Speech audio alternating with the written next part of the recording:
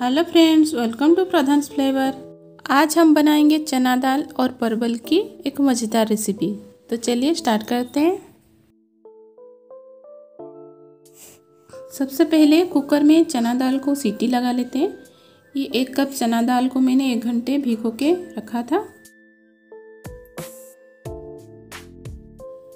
थोड़ा सा नमक और थोड़ा सा हल्दी डाल देंगे। ज़्यादा नमक नहीं डालना है, क्योंकि हमें बाद में भी नमक डालना थोड़ा सा पानी डाल के हम इसको सीटी लगा लेंगे। एक सीटी तेज़ आँच में लाएँगे और फिर इसको सीम करके 10 मिनट रख के फिर बंद कर देना है। तब तक हम परवल को काट लेते हैं। इसको आप जैसे चाहें, उसी स्लाइस में आप काट सकते हैं। मैं इसको तिरछा तिरछा काट रही हूँ।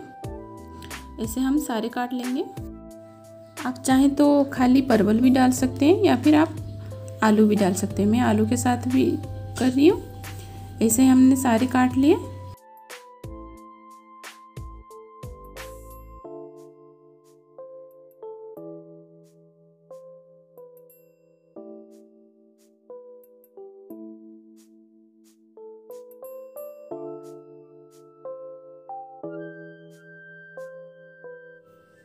कढ़ाई गर्म हो गया है। हम इस पर मस्टर्ड ऑयल डाल रहे हैं। मस्टर्ड ऑयल से ही ये बहुत अच्छा लगता है। आप चाहें तो कोई और भी तेल डाल सकते हैं। इसमें आलू और परवल को सालो फ्राई कर लेंगे। आप चाहें तो डीप फ्राई भी कर सकते हैं।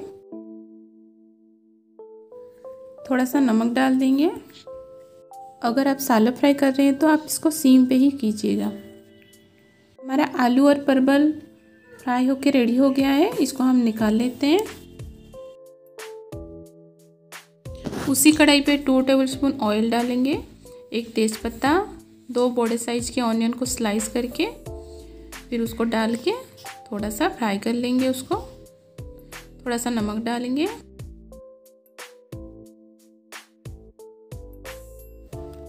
ऑनियन ब्राउन हो गया है। हम अदरक, लहसुन और मिर्ची को कूट के इसी टाइम पे डालेंगे। याद रखिएगा कि आप पेस्ट नहीं डालना, कूट के डालने से ही उसका फ्लेवर अच्छा आएगा। आप मिर्ची को कम ज़्यादा कर सकते हैं। कस्तूरी मेथी थोड़ा सा क्रश करके इसे डालेंगे।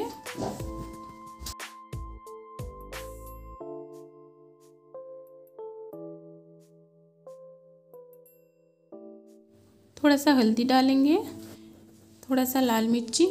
आप याद रखना कि हल्दी और नमक थोड़ा थोड़ा करके डालना, क्योंकि हमने दाल में भी डाला था। टू बड़े साइज़ के टमाटो को काट के डाल देंगे। इसको हम अच्छे से चला लेंगे और फिर ढक के एक मिनट के लिए इसको पकने देंगे।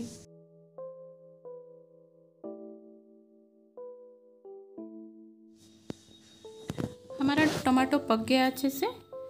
इसी टाइम पे हम इसको अच्छे से चला लेंगे और आलू और परवल को जो फ्राई करके रखा था, उसको डाल के अच्छे से चला लेंगे।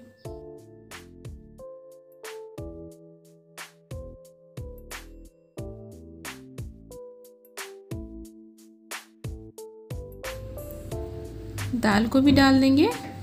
देखिए, हमारा दाल इतना पकना चाहिए। कुकर में ज़्यादा इसको सीटी नहीं लगाना है। नहीं तो ये पूरा गल जाएगा और इसका टेस्ट भी अच्छा नहीं आएगा। ऐसा अच्छे से चला के इसको हम ढक के दो मिनट के लिए ऐसे ही पकने देंगे। अभी चेक कर लेते हैं। ये हमारा थोड़ा हो गया है, अच्छे से मसाले में मिल गया है। अभी इसमें हम पानी डाल देंगे। करीब डेढ़ गिलास हमने पानी डाला है। अच्छे से चला के फिर इसको ढक के हमें पकाना है कम से कम 10-15 मिनट के लिए। थोड़ा सा गरम मसाला डाल लेंगे। ये मसाला हमने घर में ही तैयार किया है।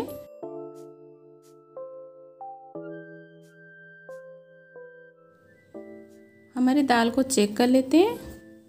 देखिए, ये अच्छे से हो गया है। अभी ज़्यादा पानी पानी लग रहा है। पर हम इसको इसी स्टेज में ही बंद करेंगे, क्योंकि ये दाल है, चना दाल है तो ये पानी सोख कर लेता है। बाद में फिर ये बहुत ज़्यादा गाढ़ा हो जाएगा। इसको पाँच मिनट के लिए ढक के ऐसे ही छोड़ देंगे। देखिए, हमारा दाल जितना पानी पानी लग रहा था, सारा सोख कर दिया।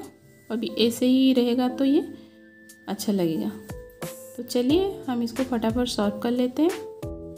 आप इस रेसिपी को घर में एक बार ट्राई कीजिए और हमें कमेंट करके बताइए कि आपको कैसा लगा। Thank you